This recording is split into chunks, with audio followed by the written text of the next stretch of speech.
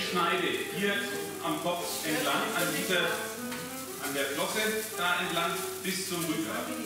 So.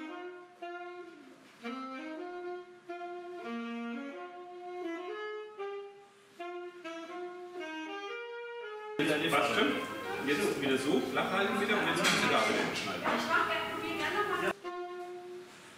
Und ähm, kam eine Woche.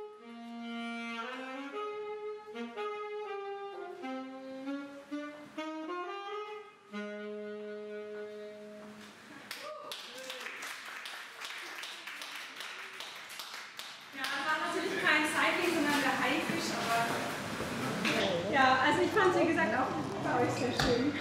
Vielen Dank für den tollen Workshop.